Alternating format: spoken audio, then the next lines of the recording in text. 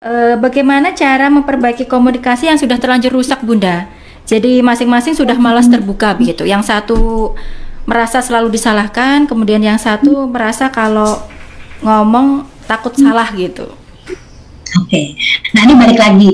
Kalau kayak tadi nih, kalau misalnya rumahnya bocor tadi gitu ya kalau misalnya dari awal sudah diperbaiki itu akan lebih mudah.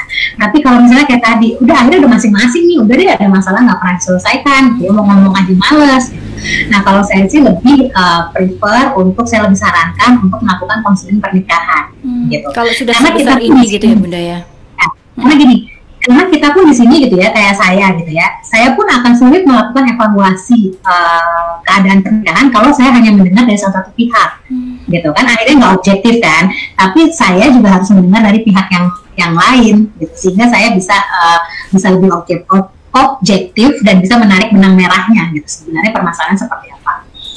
Dan kayak misalnya saya sama Mbak Rita berantem nih Mbak Rita gitu ya. Terus kita cerita sama si A gitu. Pasti gaya cerita kita beda kita nggak bohong gitu ya tapi kalau saya cerita itu saya lebih kesannya oh yang, yang salah tuh Marita gitu. Marita berasa cerita ke nggak bohong juga tapi yeah. mengesankan kalau yang memang salah saya gitu kan biasanya seperti itu. Sehingga kita emang butuh kedua belah pihak untuk untuk cerita dengan kita gitu sehingga kita bisa lebih objektif melihat permasalahannya. Tapi ada tips-tips yang praktis gitu ya misalnya kalau misalnya memang sangat sulit untuk komunikasi langsung uh, coba tulis gitu ya bikin surat atau di WA gitu ya bikin WA tapi WA-nya juga tapi yang ini ya yang gampang dibaca gitu ya ada spasinya jelas atau gimana jangan yang zut gitu ya orang males bacanya gitu sehingga uh, apa yang kita rasakan apa yang kita harapkan tetap bisa diketahui oleh uh, pasangan kita walaupun kita tidak komunikasi secara langsung gitu itu juga bisa Oke, okay, baik Bunda Rena.